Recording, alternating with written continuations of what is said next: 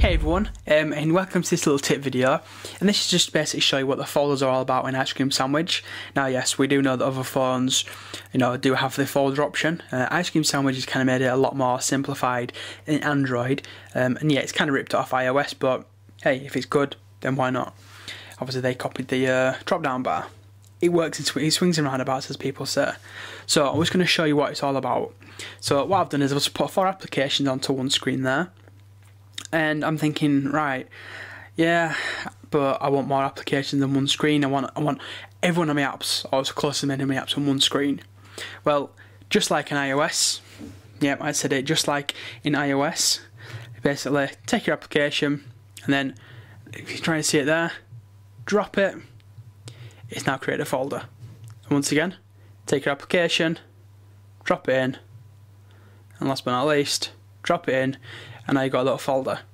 So you can obviously name your folder, so you can uh, put what you would like in there. So it's just like, you know, test, oops, test, boom, job done, and now it's called test.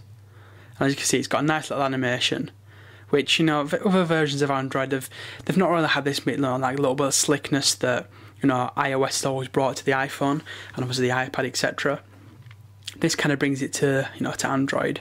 But another little top tip for you if you want to do it in the dock bar as well. I personally don't, but let's say you want to go, well, I want my messaging app actually, I'll have it inside there.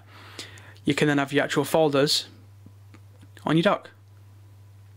Again, it's just a nice little, a nice extra feature. So, if you're somebody that uses more than one browser, I'm personally choosing the stock one at the moment because a lot of them are not actually sandwich compatible. Is that you can have just let's say your browser one there and have like four different browsers.